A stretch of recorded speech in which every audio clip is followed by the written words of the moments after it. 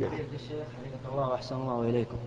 سؤالي هو لي أخ في بداية التزامه يسأل الله له الثبات. إيش؟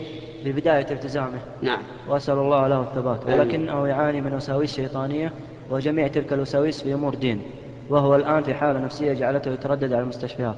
علما أنه ذهب إلى شيخ يقرأ عليه وقال له أنها وساوس وإن شاء الله تذهب وتزول ولكن دون جدوى.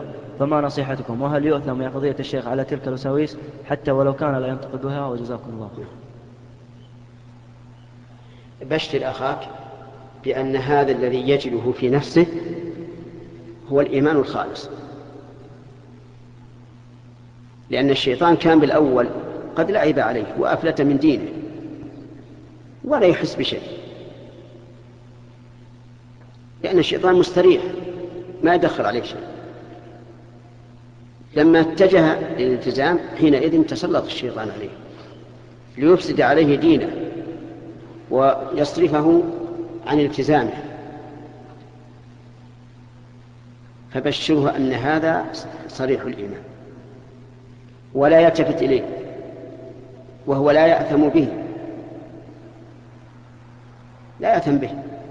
حتى لو قال له الشيطان ما لا أستطيع أن أتكلم به وهو أيضا لا يستطيع أن يتكلم به فليستعذ بالله من الشيطان الرجيم ولينتهي وحينئذ يزول عنه.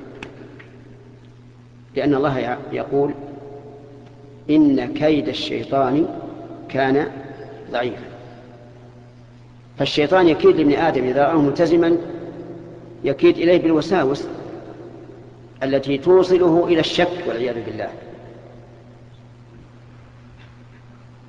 فليستعذ بالله ولينتهي وبإذن الله لن يصيبه شيء. لأن الذي وصف لنا هذا هذا الدواء أتدري من هو؟ أعلم الناس بعلاج هذه الأمور وهو النبي صلى الله عليه وعلى آله وسلم. أمرنا إذا أحسسنا بهذه الوساوس أن نستعيذ بالله من الشيطان الرجيم وننتهي وخلاص يموت الشيطان ويندحر فبشره بهذا بشرى. وقل له لا لا يلتفت لذلك الشيء. إذا أذن يقوم يتوضأ ويصلي ولو في قلبه كل وساوس. حتى لو كان يشعر أنه لا يصلي وهو لا يصلي لأحد. فهمت؟ فإن هذا لا يضر.